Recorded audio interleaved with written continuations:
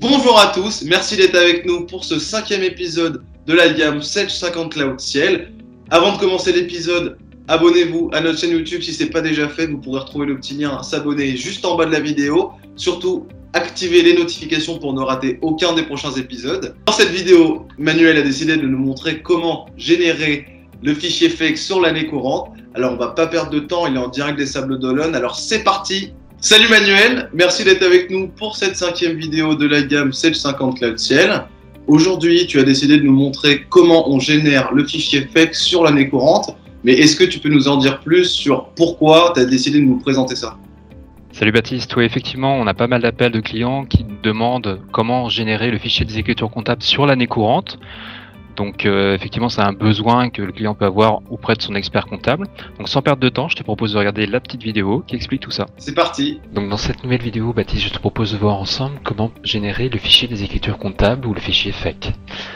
Dans une vidéo précédente, lors de la clôture et ouverture, nous avions vu ensemble qu'il y avait la possibilité de pouvoir donc consulter le fichier des écritures comptables depuis l'archive du dossier clôturé.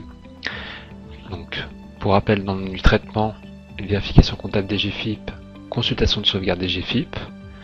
Ensuite, donc sur le dossier clôturé, à l'intérieur, nous avions donc le fichier des écritures comptables de l'année concernée. Je te propose maintenant de générer le fichier des écritures comptables du dossier courant de l'année courante. Pour cela, je vais retourner dans le menu traitement. La première étape va être de faire la validation des écritures qui sont au brouillard. Donc je clique sur validation brouillard. Je contrôle les dates ici. Je clique sur valider. Je confirme le choix des dates. Comme c'est un traitement irréversible, je choisis donc de faire une copie de mon dossier et de lancer le traitement. Je confirme la réalisation de la sauvegarde. Je ferme cette fenêtre.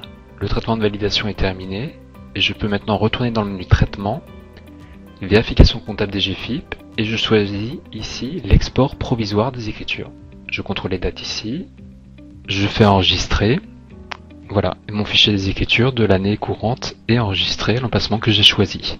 Donc comme d'habitude, je te propose de réaliser le petit quiz qui est disponible dans la page de cette même vidéo, et je te retrouve bientôt pour une nouvelle vidéo.